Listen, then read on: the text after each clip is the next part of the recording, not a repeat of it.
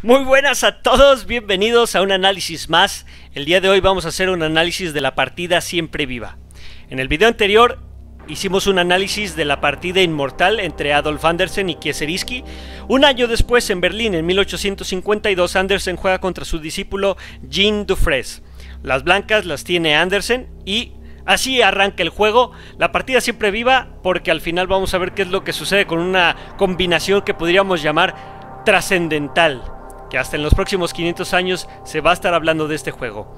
Arranca con E4 Andersen, le responde su discípulo con E5, caballo F3, caballo C6, alfil de las blancas a C4, alfil de las negras C5, tenemos la apertura italiana Jocopiano en el tablero. Pero a continuación el gambito de Evans moviendo al peón a B4. El gambito pues es una oportunidad de ofrecer material a cambio de posicionamiento o desarrollo de piezas. En este caso lo acepta Dufresne, capturando al peón de B4, avanzamos con C3, ya le permite desarrollo a la dama si quisiera moverse de ese lado y al mismo tiempo amenaza el peón al alfil. El alfil se tiene que mover, se mueve a A5. A partir de aquí, ya le da oportunidad también a Andersen de pelear por el centro con D4, captura, ahí todo bien, en roca esconde a su rey, lo que responde es con D3. A lo mejor capturar o sacar a otro peón para darle desarrollo a otras piezas hubiera sido mejor. Pero bueno, así es como responde Dufresne, el discípulo. Reina a B3, poniendo una diagonal poderosa hacia el peón de F7. El rey está medio desprotegido, saca a la dama para protegerlo, avanza con E5 y amenaza a la dama, quítate que ahí te voy. Se mueve a G6 para seguir protegiendo al mismo peón. ¿Y qué es lo que acontece ahora? Aquí es en donde en, la en, en el movimiento número 10 podríamos empezar a tener un vistazo de la magia que tenía Andersen a la hora de realizar sus combinaciones y sus estrategias, incluso contra sus discípulos.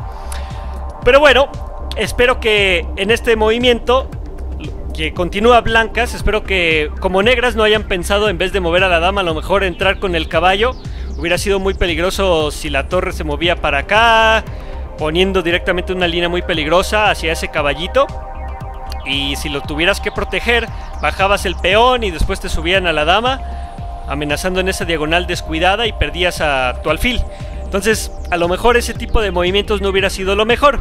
Pero bueno, mover a la dama a G6 es un buen movimiento. Continúa Andersen moviendo a su torre de F a E1. Después caballo a caballo a E7. Después alfil A3 poniendo en una diagonal muy poderosa aquí. Y trata de hacer su discípulo de Andersen lo mismo, un tipo de gambito, ofreciendo a su peón, pero en esta ocasión lo toma con la dama Andersen. Torre a B8, la dama se tiene que mover, la mueve a 4. Y después, alfil a B6, ya en una diagonal un tanto peligrosa, hacia el corazón del rey de las blancas. Ahora, aquí, ¿qué, qué harías? Sería conveniente tal vez, eh, perdón, mover al rey a un lugar seguro donde pueda estar guardadito. Un enroque hubiera sido bastante ideal. Aún así, vamos a ver qué es lo que responde Blancas. Desarrollo del caballo, posibilidades de moverse a E4. Todo está bien hasta ahí.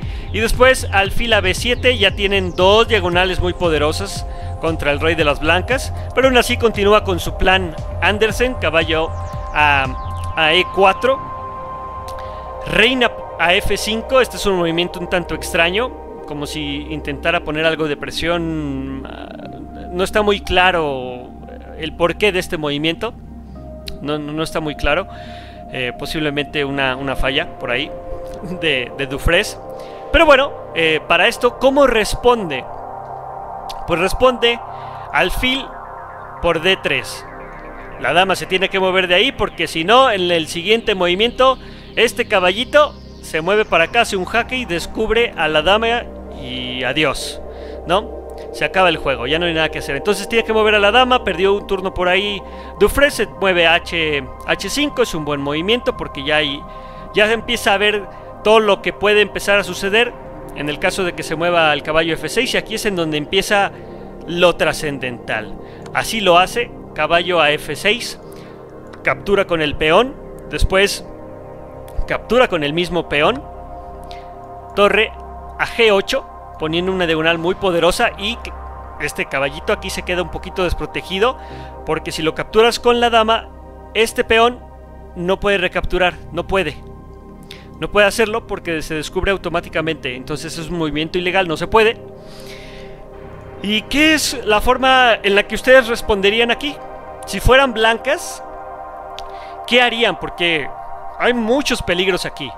Acuérdense que el lado de negras tiene a dos alfiles muy peligrosos y ahora tienes una torre y ahora tienes una dama y que la dama también está atacando este caballo que está medio desprotegido.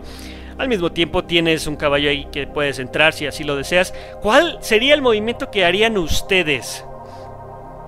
¿Y cuál sería el movimiento que hizo Andersen? Le voy a dar un poco de segundos. ¿Qué harían ustedes si fueran blancas para que forzaran ciertos movimientos de negras?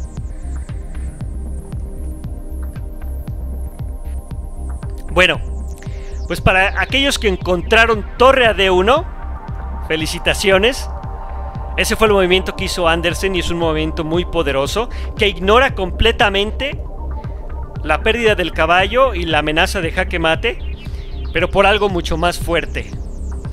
Y bueno, así es como responde Andersen su discípulo dice, bueno, no entiendo por qué moviste la torre de uno, no alcanzo a ver qué es lo que estás planeando, así que de todos modos entro contra tu caballo en F3 y en el siguiente movimiento se acaba el juego, jaque, mate porque está la torre de este lado, ¿no?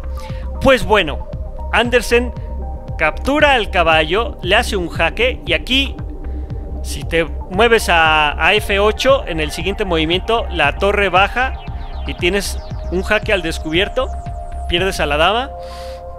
Entonces lo mejor que se puede hacer en esta ocasión tal vez sería mover a D8, pero incluso ya estás en una situación bastante precaria.